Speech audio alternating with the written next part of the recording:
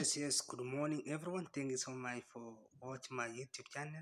And today, guys, I want to update about uh, Plug Power. So, guys, we saw Plug Power pumping from five dollars. It reached here, which is that's been acting here like here like support before.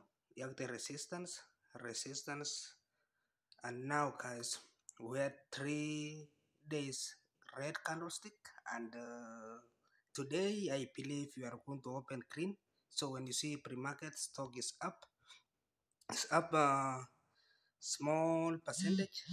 I think less than uh, one But uh, when you see broadly, uh, I've already did do. Uh, I've already said this is the resistance. Resistance. Uh, also, we are in on downtrend, and then here was support. We tested right now. We tested on uh, Wednesday, Thursday, and Friday that's uh, support which it was 7 7 point uh, around 7.3 so what do you think guys? So what i'm thinking about Plug Power is Plug Power is going to break out because uh, three consecutive days red is huge and uh, now everything set up uh, uh, daily candlestick is is already say is ready to go to moon and I'm going to print here around 45 minutes. When you see around 45 minutes talk the double bottom over here. So you see this is the was solid which is uh, around uh, 618 uh, yeah by now we're saying 618 we know still stock the uh,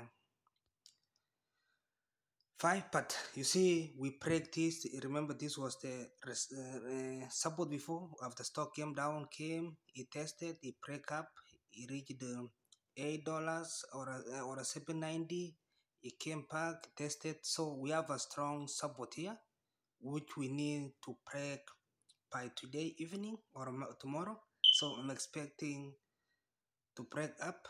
So here is the thing. So uh, we can see how Tesla play and other EV uh, stocks and uh, clean energy. So, but for, probably we are going to break very soon, very soon. So, I think because it's already see this stock now is turning red. So, everything when market open in next 30 minutes, we are going to see Plug Power to move to moon. So, uh, today I don't see red I don't see red today because we had a red from Wednesday deal.